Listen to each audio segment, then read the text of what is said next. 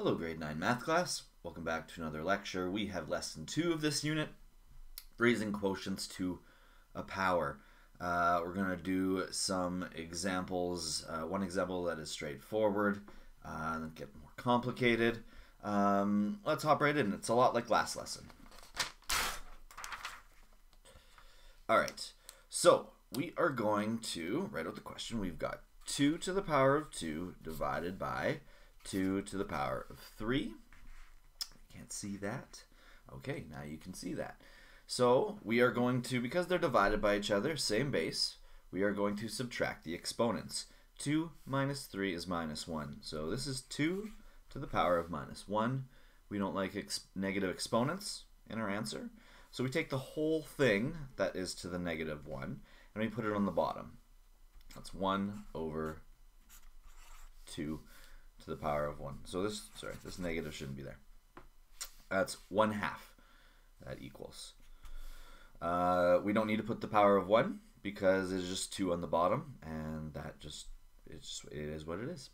Let's go on to the next one. Over, we've got 2 to the power of 4 over 2 to the power of 2 to the power of 4. Okay, so in this case, we want to get rid of this extra exponent so that we can just go ahead and subtract uh, what we're going to need to do then is multiply these together. So this is the same as 2 to the power of 4 over 2 times 4 is 8. So that's 2 to the power of 8.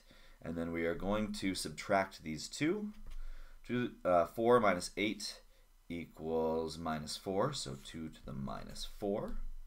And then we flip that over because we don't like negative exponents. That's 1 over 2 to the power of 4. And in this one, I kept the power because it was not 1. Anything other than 1, I have to write.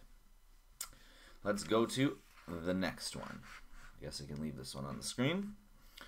All right, we have 3 over 3 to the power of 4, all to the power of 3. Um, let's do the subtraction first, and then we can do the exponent of the whole thing. There are two different ways we could do it, but let's do it this way uh, we have 1 minus 4, so that is 3 to the power of negative 3, all to the power of 3. We can go ahead and then multiply these two exponents. 3 to the power of negative 3 times 3, so that's 3 to the power of negative 9. And we don't want any negative exponents in our answer, so that's 1 over 3 to the power of 9 getting a lot of negatives. I think that's just a coincidence. I wouldn't think that that is a regular thing with all these problems. All right, let's do the next one. Uh, 2 to the power of 2, all to the power of 4, and then 2 to the power of 4. So the difference in this one is that we are going to get rid of the exponent first. Because the bracket is not encompassing the entire um, fraction, we are going to do this exponent first. In this one above, we did what was inside the brackets first because the brackets encompass the entire thing. So 2 times 4 is 8. So this is 2 to the power of 8 divided by 2 to the power of 4. Same base, so we subtract the exponents. That's 2 to the power of 4 for our final answer. You can pause and give the next ones uh, a try and see if you got them right. Uh, I will continue on right away. So we have 4 to the power of 4 divided by 4 to the power of 3 squared. Okay, so in this one, the uh, brackets do not encompass the whole thing, so we're going to get rid of them first down here. 4 to the power of 4 stays on the top. 3 times 2 is 6, so that's 4 to the power of 6. Then we're going to go ahead and subtract these, so that's 4 to the power of minus 2, because 4 minus 6 is minus 2. And we'll turn that into a fraction with a positive exponent. Okay, so we're getting rid of brackets. We are then going ahead and doing the quotient or the other way around. Uh, let's go. We've got 4 over 4 to the power of 4 next. This one will be straightforward. 1 minus 4 is minus 3. We flip it over. 1 to the power 1 over 4 to the power of 3. 19. 2 to the power of 3 to the power of 4, all divided by just 2. Uh, the brackets do not encompass the entire thing, so we are just going to um, do them, do the top first, and then work through it. So 3 times 4 is 12, and then we have a 1 here, so then 12 minus 1 is 11.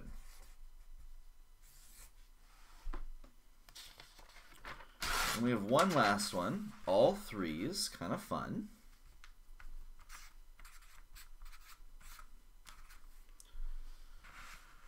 Okay, so in this case, the brackets um, encompass the entire thing.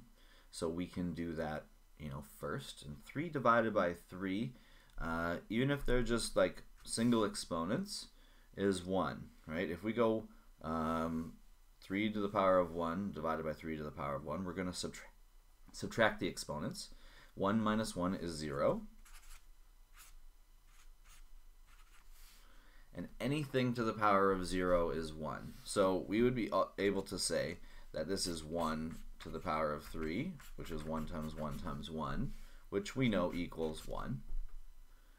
And we could also do the other step first. So we could alternatively do 3 times 0, right? And that's 3 to the power of 0, and we know that 3 to the power of 0 is 1. So uh, either way, no matter how you do it, uh, the answer for this question of all threes is 1. That's because what we have in the brackets is equal to 1.